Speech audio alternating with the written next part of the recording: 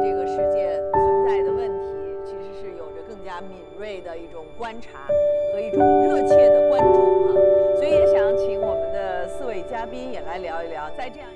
I hope these young people will continue be so so optimistic and hoping for the Datong for the great unity. The only thing which I hope uh, will still somehow recover is a mutual respect, mutual respect between different civilizations, between different political systems, between different cultures, and the foundation of this mutual respect is a mutual understanding, which will be the first step to the new, better world.